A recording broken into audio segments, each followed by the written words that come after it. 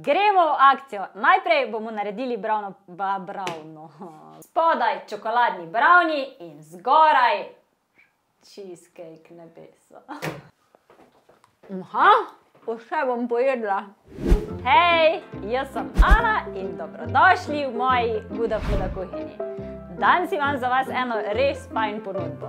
Dve sladici za ceno ene. Kaj mislite, da bi se zgodilo, če vzamemo browni in en takle slasten cheesecake in jo združimo v eno? Tadam! Browni cheesecake.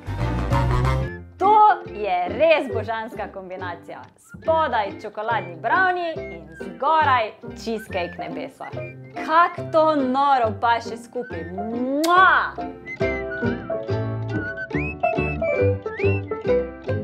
Gremo v akcijo. Najprej bomo naredili browni podlago. 100 g masla sobne temperature, 150 g kokosovega sladkorja in 3 jajca konkretno zmiksamo.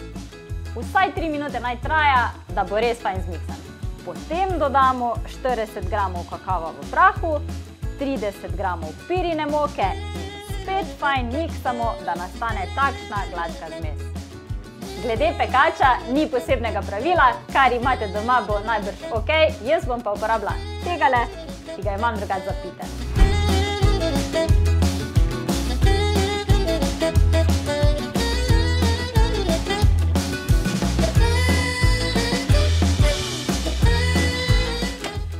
Tak, browni podlaga je zdaj v pečici, pekla se bo 15 minut na 160 stopinj, čas pa lahko naredimo kremo. Tole so vse sestavine, ki jih rabite za cheesecake kremo in preprosto bomo samo zmiksali skupaj.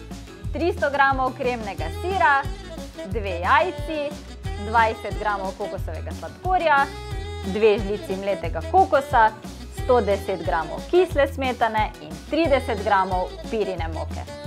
Vse sestavine so iz Lidla in preden greste v trgovino, nujno poglejte na novo aplikacijo Lidl Plus, kjer najdete ful različnih kuponov, ponudb in vedno prihranite. Zdaj pa spet miksamo in potem to kremo vlijemo na pečeno browni podlago.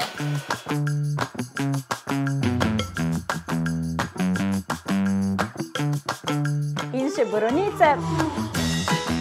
Potem gre pa tole še enkrat za 15 minut na 160 stopinj.